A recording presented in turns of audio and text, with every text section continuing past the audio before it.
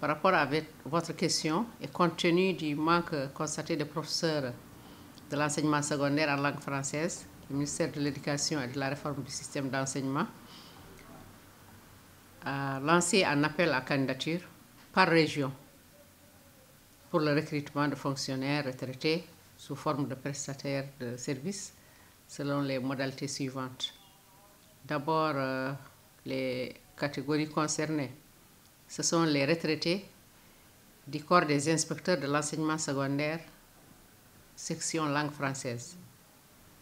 Deuxièmement, les retraités du corps des inspecteurs de l'enseignement fondamental, toujours la section langue française.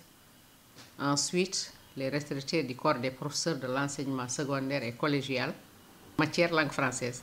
Et enfin, les retraités du corps des instituteurs spécialisés en langue française, à condition qu'ils aient déjà enseigné dans l'enseignement secondaire. La répartition des, des postes à pourvoir, c'est ainsi, par région et département.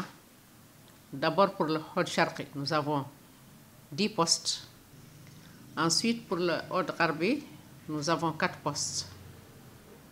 Pour la Saba, nous avons 10 postes. Ensuite, pour le Gorgol, nous avons 3 postes. Pour le Brakna, nous en avons 7. Pour le Trarza, 11 postes. Pour l'Adrar, 6 postes.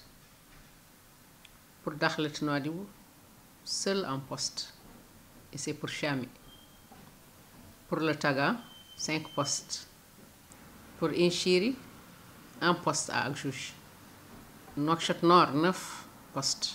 3 à Darnaïm, 2 à Tayaret et 4 à Toujounine. Pour Nokchat Ouest, c'est 7 postes.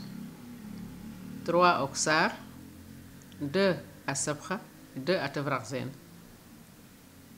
Et enfin, pour Nokchat Sud, nous aurons 6 postes. 3 à Arafat, 1 à Elmina et 2 à Riyad. En tout, ça fait 76 enseignants que nous voulons, enseignants retraités que nous voulons recruter. Fait que le ministère de l'Éducation fait appel, par exemple, aux retraités, ça veut dire de l'éducation, des instituteurs, des professeurs et même des inspecteurs, c'est une bonne chose parce que c'est des gens qui ont de l'expérience et aussi pour euh, combler le, déficit. Mais il est aussi très, il est aussi important de regarder, par exemple, dans les inspections, dans les drains et même dans les différentes directions de l'éducation du ministère, pour procéder par exemple au déploiement du surplus. Parce qu'il y a des enseignants qui sont là-bas, surtout euh, des gens qui ont de l'expérience, eux aussi.